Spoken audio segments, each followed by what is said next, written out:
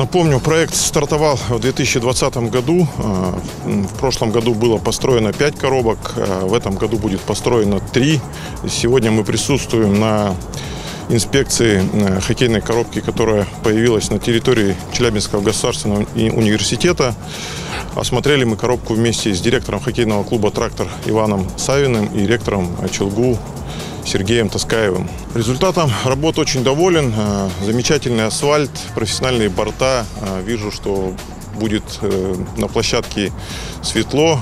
Как сказал Иван Савин, это очень важно для того, чтобы дети могли заниматься хоккеем в безопасных, комфортных и доступных условиях. Основные э, цели и задачи э, реализуемой нашей, э, нашей компании большой социальной программы – это вовлечение подрастающего поколения в занятия спортом и пропаганда здорового образа жизни. Именно эти цели достигаются при реализации данного проекта.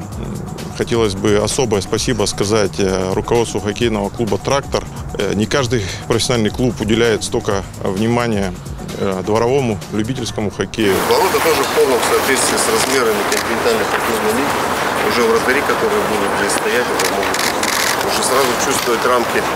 Строительство хоккейной коробки даст определенный импульс для развития э, студенческого хоккея в их университете. И наше э, потенциальное сотрудничество с Челябинским государственным университетом должно выйти на очень хороший уровень. Открытие коробки планируется в середине декабря. Полностью будет э, залит лед. В целом введена в эксплуатацию полном соответствии с необходимыми требованиями э, для занятия хоккеем на улице. Мне бы хотелось э, особенно отметить, что хоккейная коробка в Ленинском районе, которую мы реализовали в том году, э, послужила стартом развития мини-кластера и э, там образовалась инфраструктура для занятия другими видами спорта, в центре которого была хоккейная коробка в рамках проекта РМК «Детям».